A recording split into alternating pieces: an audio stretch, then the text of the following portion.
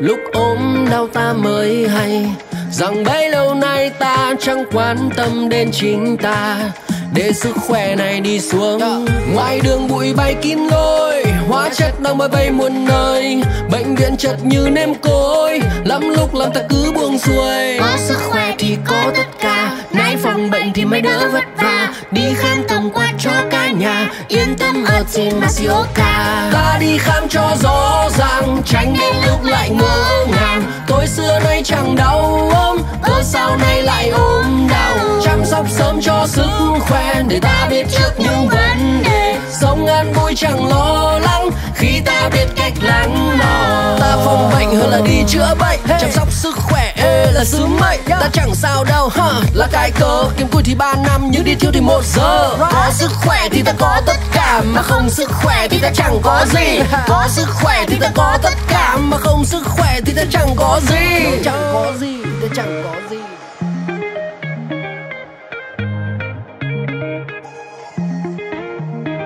lúc ốm đau ta mới hay rằng bấy lâu nay ta chẳng quan tâm đến chính ta.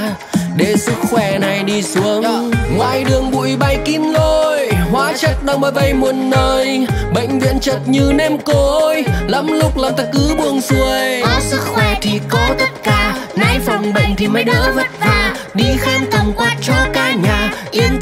yên tâm Masioka ta đi khám cho rõ ràng, tránh đến lúc lại ngỡ ngàng. Tôi xưa nay chẳng đau ốm cớ sao nay lại ốm đau. Chăm sóc sớm cho sức khỏe, để ta biết